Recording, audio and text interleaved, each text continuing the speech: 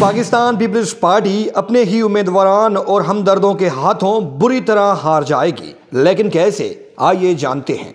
बिलावल भुटो जरदारी के खिलाफ साजिश कौन कर रहा है? फरियाल तालपुर और आसिफ जरदारी के हामी लोग बिलावल के हामियों के मुखालिफ क्यों हैं? आसिफ जरदारी ने जब से बिलावल को पार्टी के बहुत से अमूर से दूर रखा है, तब से लाबिंग ने जन्म लिया है। सिंध के तकरीबन हर शहर में पाकिस्तान पीपल्स पार्टी के साथ एक ही मसला है और वो मसला पीपल्स पार्टी के अपने ही लोग पैदा कर रहे हैं।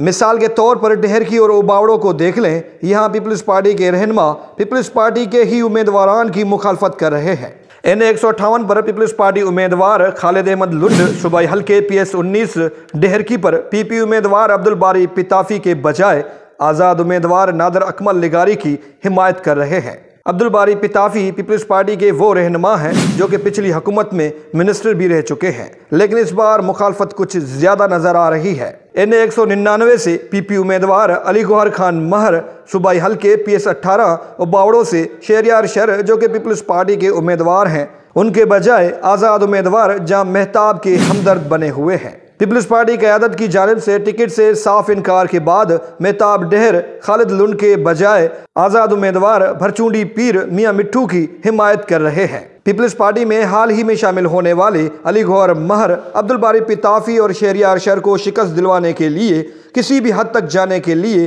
तैयार नज़र आ रहे हैं। पीपी उम्मीदवार अली गौर महर के हामी, पीपी उम्मीदवार खालिद अहमद लुंड के पास जाने के बजाय आज़ाद उम्मीदवार मियाँ मिट्टू की कैब में बैठे हुए हैं। अब ऐसी सूरत हाल में पार्टी क्यादत खुद परेशान है कि वो किस तरह अपने लोगों को मुतमैन करे। घोटकी के बाद सिंध के बहुत से ऐसे हलके हैं, जहाँ पीपी मुखालफी की हिमायत पीपल्स पार्टी के रहनमा ही कर रहे हैं, जिसका नुकसान पीपल्स पार्टी को आम इंतबात में ज़रूर होगा।